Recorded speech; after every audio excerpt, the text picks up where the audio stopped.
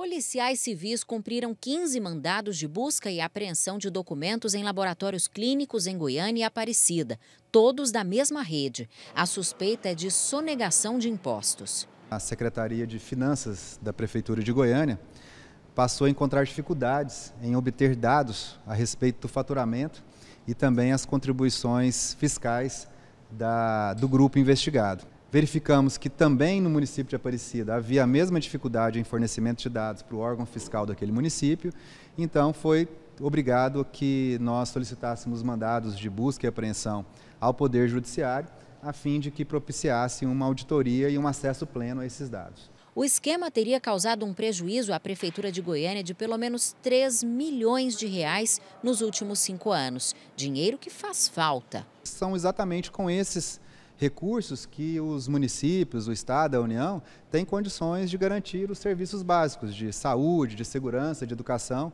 A operação faz parte do programa Fisco em Ação. Empresas de várias áreas são investigadas. Estimamos que só na área de laboratórios, é, este ano, com o programa Fisco em Ação, esperamos recuperar pelo menos 20 milhões de reais. No total de todas as áreas, esperamos recuperar com Fisco em Ação, este ano de 2019, 130 milhões.